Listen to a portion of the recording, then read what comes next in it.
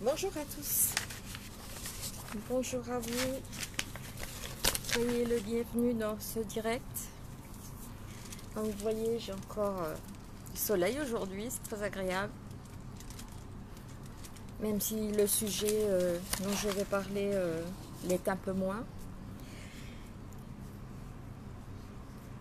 Bonjour. Je sens que je vais encore me faire des amis avec ce que je vais dire, mais bon, que ça se sache.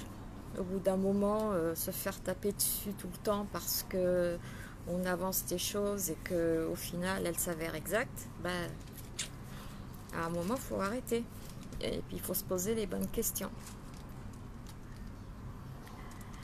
Donc, euh, bonjour à vous. Euh, j'espère que vous allez bien, que tout se passe bien pour le moment dans votre vie. Pour ma part, je viens de tomber sur une pépite qui concerne l'éducation scolaire. Enfin bon, je le savais déjà, mais euh, ça renforce un petit peu l'idée que j'avais de notre système scolaire actuel. Quand je compare comment ça se passait quand j'étais petite et euh, maintenant, ça n'a plus rien à voir. Ça n'a plus rien à voir. Les enfants euh, n'ont absolument pas euh, les mêmes bases. Et forcément, il y en a qui partent à la dérive et qui, bonjour Sandrine Coco, qui partent à la dérive et qui se désintéressent complètement du système scolaire parce que ça ne les intéresse pas. Il faut dire que les enfants dans les années 60-70, euh, bon, voire même 80, hein, parce que j'étais à l'école euh, en 80, ils avaient 10 heures de français par semaine. 10 heures de, de français, c'est-à-dire de écriture et de lecture par semaine. De nos jours, ils n'en ont plus que deux. Deux heures par semaine. Est-ce que ça suffit à un enfant de CP deux heures par semaine pour apprendre à lire et à écrire? Alors, soit vous avez un enfant qui est super intéressé par l'écriture et par l'école et tout, et euh, qui forcément euh, va s'adapter. Soit vous avez des enfants qui ne seront pas intéressés et ces deux heures ne suffiront pas. C'est un fait, ça ne suffira pas. Et je peux vous le dire parce que j'y suis passée. Euh, moi, quand j'étais, euh, quand j'étais à l'école, euh, on arrivait le matin, on faisait les, devoirs de la veille et paf, on se mettait à faire de l'écriture. Et, ça jusqu'à la récréation. Et si on n'avait pas fini, on remettait ça après la récréation. Donc c'était le lundi, le mardi, le jeudi, le vendredi et le samedi matin. Le samedi matin était la plupart du temps réservé pour la lecture et l'écriture. Et oui, Sandrine, le français, c'est le principal, sauf qu'on le perd de plus en plus. Mais attends, ce que je te dis, attends, je, ce que je dis, je, le dis. Et euh, j'en ai les preuves. Parce que j'ai été chercher, forcément, j'ai été chercher sur Internet. Parce que je me dis, peut-être pas, faut peut-être voir avant de, faire une vidéo que euh, ce soit bien, euh, bien clair pour tout le monde. Donc les enfants, ils arrivent en sixième, bah, ils sont complètement perdus parce qu'ils ne savent pas lire, ils ne savent pas écrire. Euh, compter, il faut voir. Hein, parce que euh, bah, euh, ils ont pris du retard et, et même s'ils arrivent à aligner deux mots, ouais, et tu as raison, ouais. Et même s'ils arrivent à aligner deux mots, le problème c'est que ils ne comprennent pas ce qu'ils lisent. Parce qu'en fait, apprendre à lire, c'est pas seulement réussir à lire un texte. Apprendre à lire, c'est aussi comprendre ce que veut dire le texte. Parce que sinon, ça sera trop simple. Parce que si on lit et si on ne comprend pas le texte, ça ne sert à rien de lire. Hein? Parce qu'il faut apprendre. Et c'est là que, que, ça braque un peu. Alors déjà, ils ont beaucoup de mal à écrire parce qu'on n'est plus là à leur apprendre à faire les lettres, etc. Ben non, on n'a plus le temps, hein, vous comprenez bien. On n'a plus le temps de leur apprendre maintenant, euh, tout est phonétique les enfants comprennent. Enfin, certains enfants, le phonétique, bah, ça leur parle pas. Hein. Pour eux, un, be, c'est un be, c'est pas un b. Non, c'est un be. Un be et un a, ça fait bas, mais un b et un a, ça fait Voilà. Donc, ça pose un petit peu de problème, vous comprenez bien. Mettez-vous dans, revoyez, euh, remettez-vous dans votre esprit quand vous étiez jeune et revoyez votre enfance et vous verrez que ça a beaucoup, beaucoup changé par rapport aux enfants maintenant. Moi, je par rapport à mon fils, mais c'est une catastrophe. Voilà, donc euh, je voulais vous lire, moi, euh, je voulais vous lire donc ce que j'ai été chercher sur le net. Et c'est des, ça vient du, Canada, en fait. Ça a été fait par le par euh, l'éducation nationale. Et euh, c'est le Canada qui a posté ça euh, sur Internet, sur le français. Et je vous assure qu'il est, très près de ce que je pense, en fait. Très près. Écoutez bien. Plusieurs élèves de niveau primaire présentent des difficultés de lecture et d'écriture. Or, la recherche montre que les pratiques enseignantes efficaces ont, une incidence favorable sur le succès des élèves dans leur apprentissage du lire-écrire. Suivant une recension des écrits sur les pratiques gagnantes du retard des théories de l'apprentissage socio-constructiviste, cet article présente les résultats d'une recherche sur les pratiques déclarées de l'enseignant du lire et écrire de quatre enseignants de sixième année du primaire. C'est-à-dire qu'au Canada, vous avez, euh, c'est pas comme ici, la sixième année du primaire, en fait, c'est le CM2.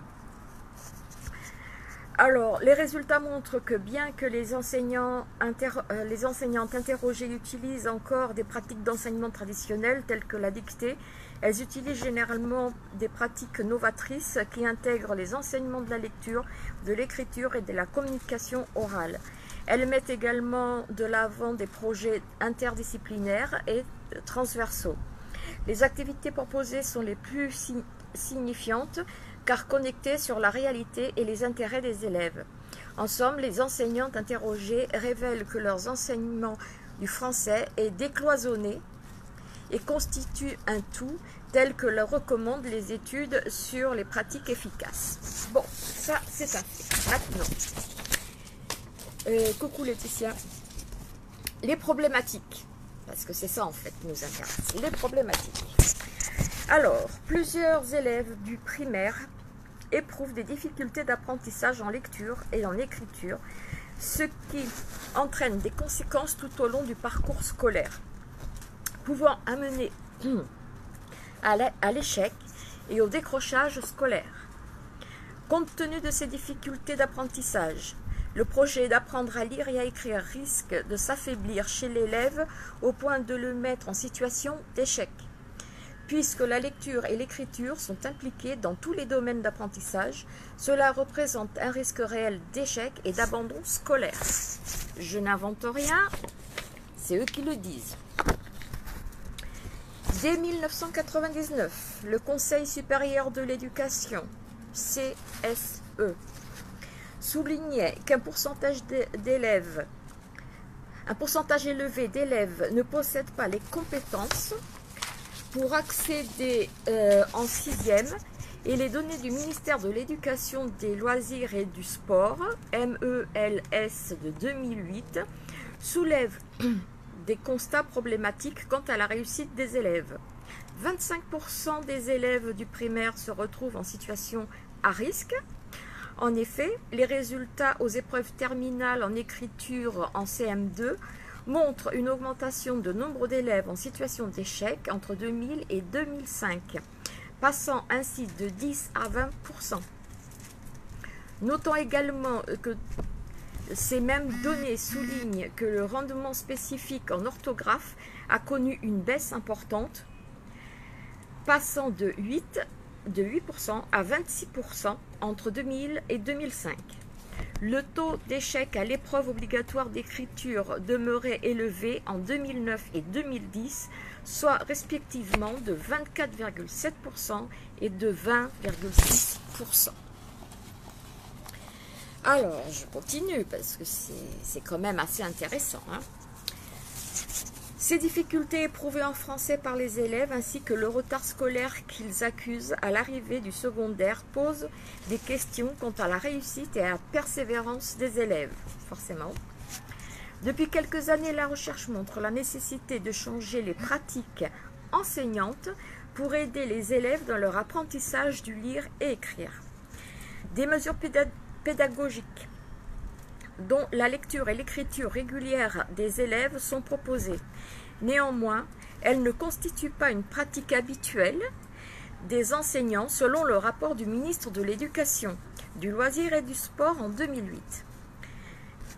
Des recherches relatives à l'observation de pratiques enseignantes décrivent la complexité du rapport qu'entretient l'enfant avec l'écrit tout au long du primaire et affirment que des pratiques pédagogiques exemplaires pourraient faciliter le développement des compétences à lire et à écrire chez les élèves. Chez les élèves pardon. Selon Prenevaux, en 2007, afin de cultiver le goût de du lire et de l'écrire. Il faut enseigner la lecture et l'écriture par une approche intégrée et équilibrée entre plusieurs activités. Les pratiques pédagogiques ainsi devraient exploiter des activités diversifiées. Lecture collaborative, interactive, écriture partagée d'idées modélisées autonomes. Pour euh, Prenevaux, en 2007, les élèves dès le début du primaire, devraient lire et écrire quotidiennement. De plus, dès la première année du primaire ainsi qu'à la sixième année du primaire, c'est-à-dire CM2, classe charnière dans l'apprentissage de l'écrit, les élèves devraient réaliser des projets d'écriture transversaux. Ces travaux ouvrent des perspectives privilégiant des séquences d'enseignement en articulant la lecture et l'écriture dans le cadre d'approches intégrées de l'enseignement du lire et écrire. D'autres recherches indiquent que les pratiques gagnantes et enseignantes reposent principalement sur la compétence des enseignants. On y vient. Ces pratiques gagnantes ou exemplaires doivent privilégier des activités,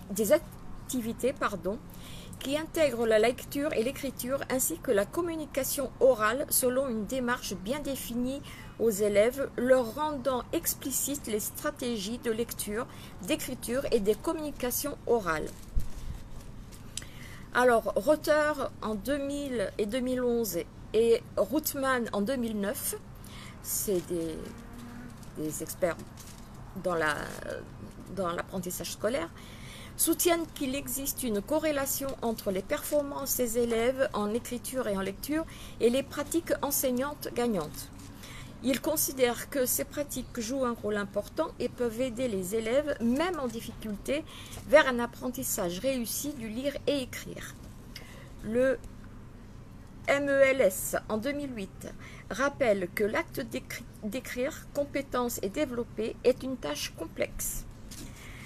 Et donc je vous donne un petit exemple, ça en revient à ce que je vous disais tout à l'heure. C'est beaucoup plus, euh, c'est beaucoup plus qu'écrire un texte sans faute l'apprentissage de la lecture et de l'écriture, c'est beaucoup plus qu'écrire un texte sans faute.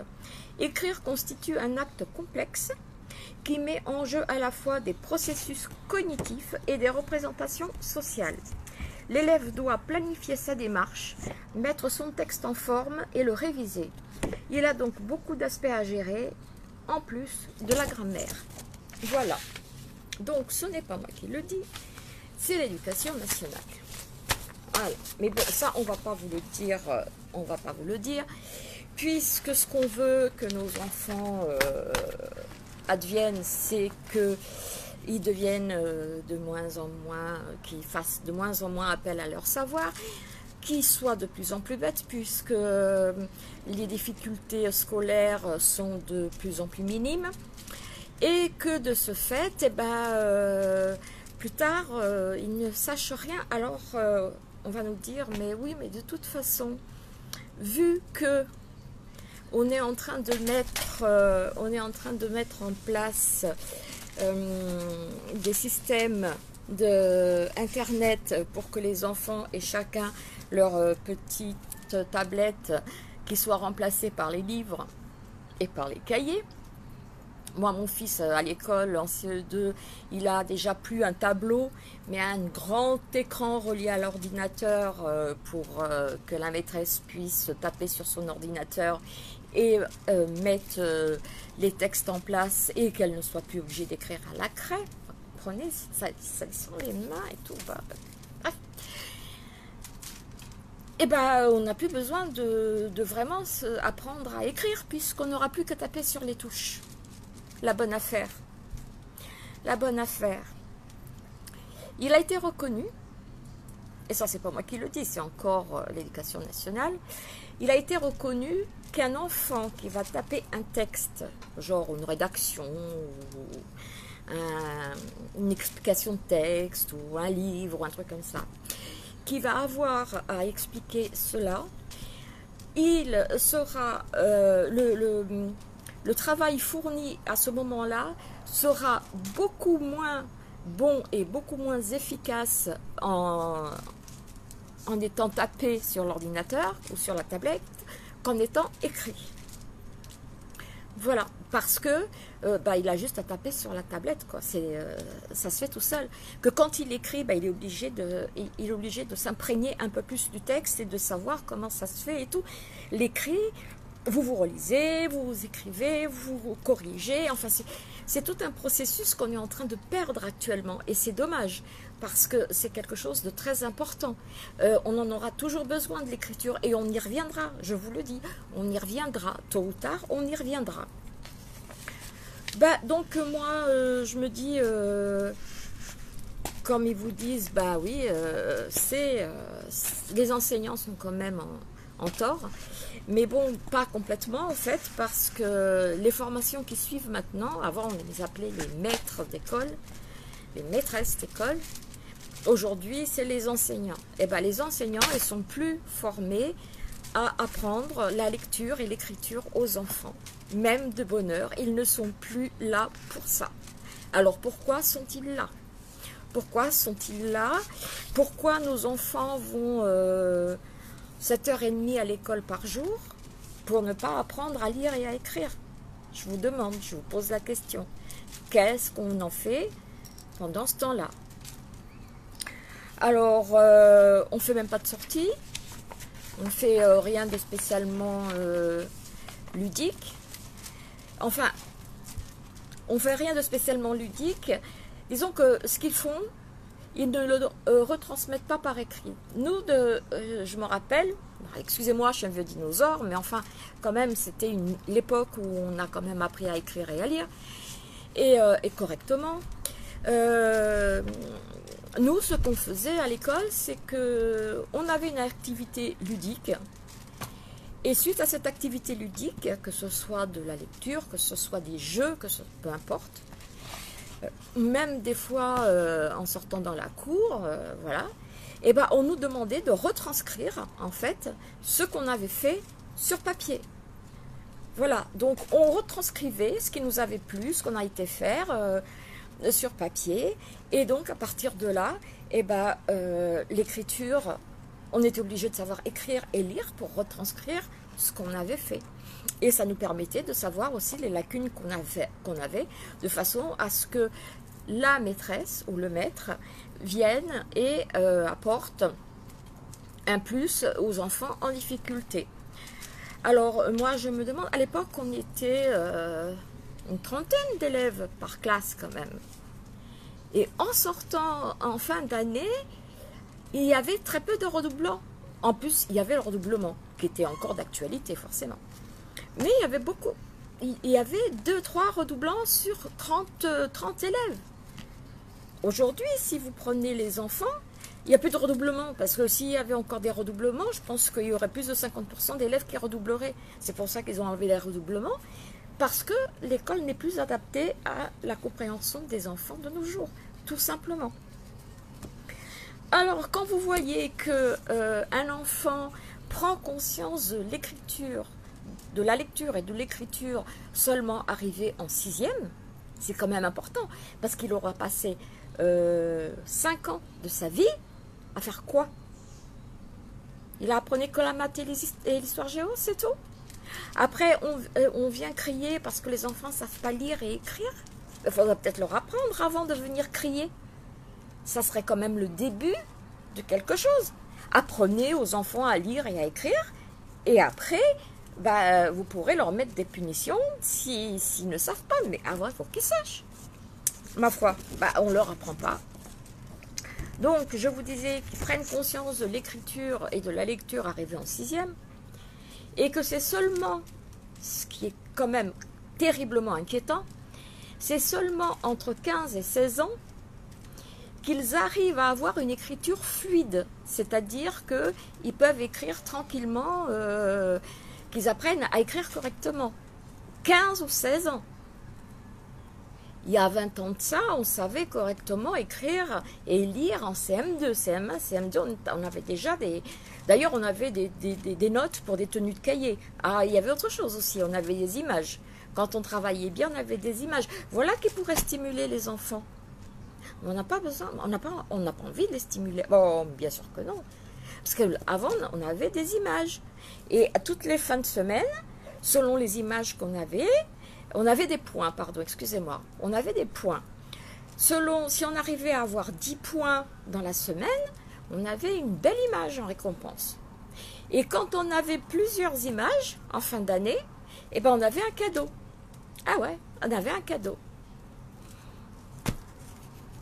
Elle est où la stimulation dans l'école aujourd'hui? Elle est où? Il n'y en a pas? Il n'y en a pas. Euh, les profs sont pas pédagogiques. Euh, ils crient après les enfants. Euh, ils donnent des punitions alors qu'ils sont incapables de leur apprendre quoi que ce soit. Mais où va-t-on? Et après, on dit que c'est la faute de nos enfants, que nos enfants ne sont pas capables, que nos enfants ont des problèmes psychologiques parce qu'ils ne s'intéressent pas en cours. Mais qu'est-ce que vous voulez que les enfants s'intéressent en cours avec des, enseignements pareils? C'est pas possible. Ça, euh, j'ai été le chercher sur Internet. Hein. et c'est expliqué. Hein. Donc c'est à la vue de tout le monde. Tout le monde peut le voir. Moi, je trouve que c'est juste une, aberration. C'est une aberration. Où vont nos enfants? Qu'est-ce qu'ils font à l'école? Au final, moi aussi, hein, je peux leur apprendre ce qu'ils apprennent les profs à l'école sans problème. Je peux mettre 4-5 enfants là et euh, je peux leur apprendre à lire et à écrire, il n'y a aucun souci. Hein. Pourquoi avoir un diplôme? Ah, D'ailleurs, ils n'ont plus de diplôme. Excusez-moi. L'éducation nationale ne donne plus de diplôme, ils donnent des formations.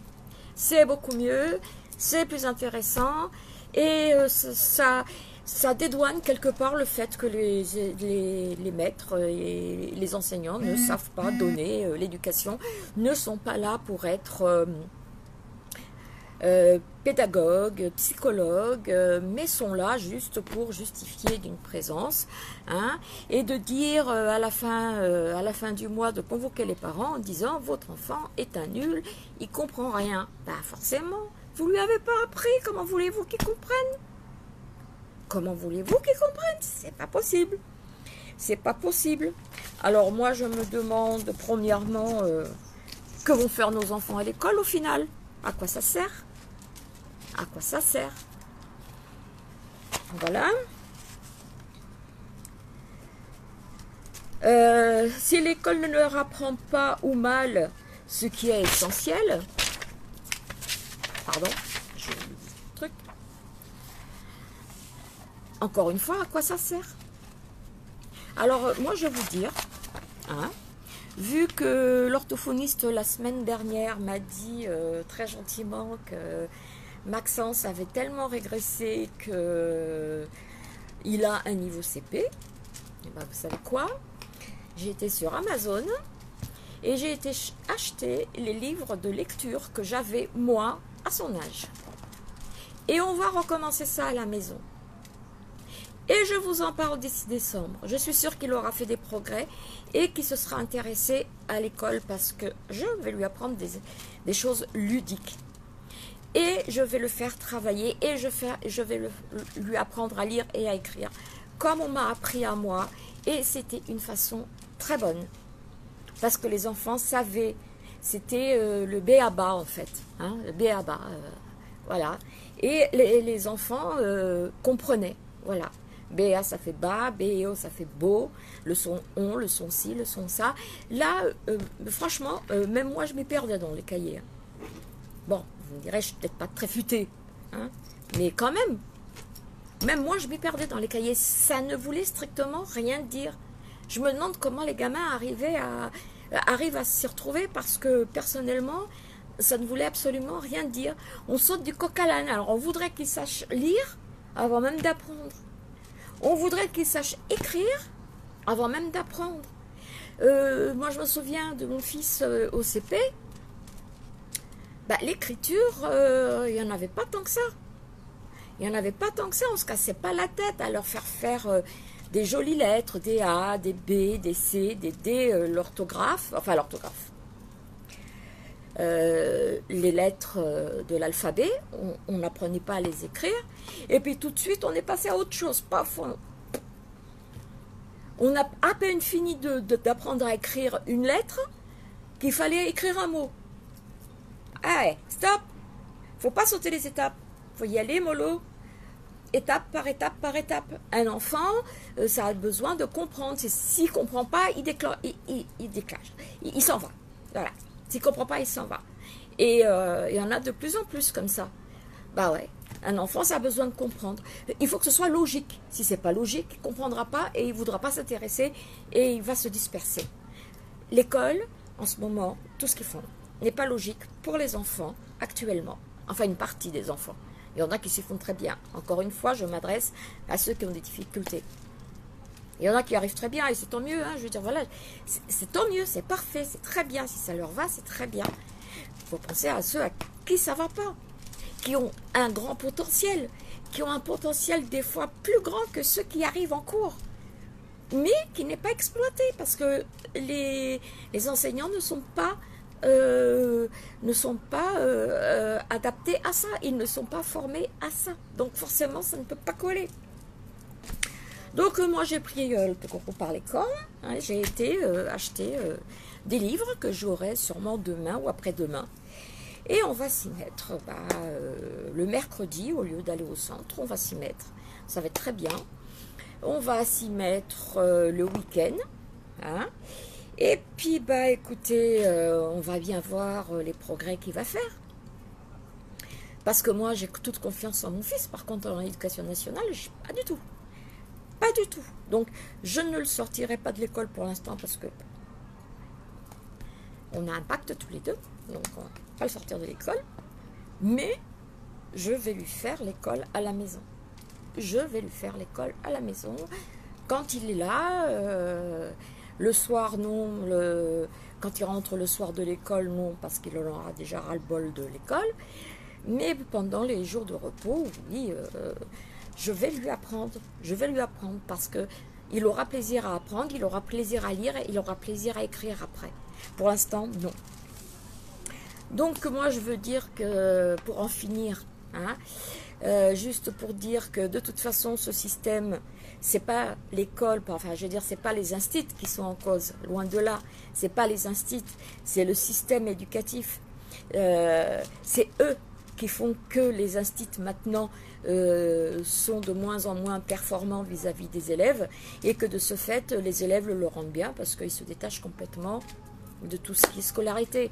Donc euh, forcément, on ne va pas en sortir grand-chose. Voilà.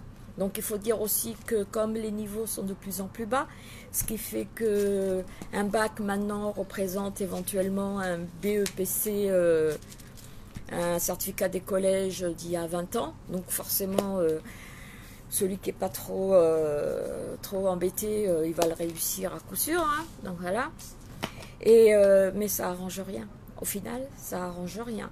Parce qu'on veut éliminer nos enfants pour les remplacer par tout ce qui est robots, technologies, etc. Et c'est vrai que, ma foi, pour finir au chômage, ça sert à quoi d'apprendre à lire et à écrire? Rien du tout. On s'en fout. Hein. À partir du moment où on sait écrire son nom, hein, même si c'est pas sur les lignes, on s'en tape. On sait écrire son déjà. Hein, voilà. Donc voilà, moi je pense que c'est ce système qui est en faute, c'est ben, encore la faute du système. Ben, qu'est-ce que vous voulez, c'est comme ça. Hein, euh, c'est quand même c'est quand même le ministre de l'éducation qui fait les lois et qui demande comment euh, et qui fait en sorte que les enseignants euh, suivent des formations adéquates. Si le ministre de l'éducation ne le fait pas, je vois pas qui c'est qui peut le faire. Hein. et comme on a tous des fichus corrompus et tout ce que vous voulez, et qu'ils en ont rien à foutre, ni de nous, ni de nos enfants, moi je trouve que c'est le chemin, euh, bah, le chemin normal qui va mener nos, enfants, non pas à une belle réussite, mais euh, à un joli casse-gueule. Voilà, donc euh, moi comme je veux que mon enfant garde quand même un minimum d'instruction, eh ben, euh, je vais m'en charger moi-même. Voilà. Euh, il faudrait peut-être euh, essayer de comprendre. on veut enlever le savoir, on veut enlever la compréhension, on veut enlever le savoir et la compréhension à nos enfants. On ne veut pas qu'ils aient le pouvoir de savoir ce qui se passe. Je vous pose une question. Pourquoi? Si vous trouvez la solution, tant mieux. Moi, euh, je m'en doute un peu, mais bon, voilà. Bon voilà, c'était juste pour vous dire que si je pousse des coups de gueule de temps en temps en ce qui concerne l'éducation nationale, j'ai quand même euh, mes petites raisons. Là, euh, bah, ça peut pas être plus clair.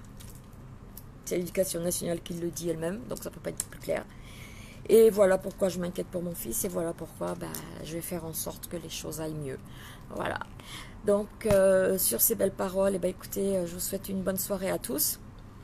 Merci euh, Alex d'être là, présent.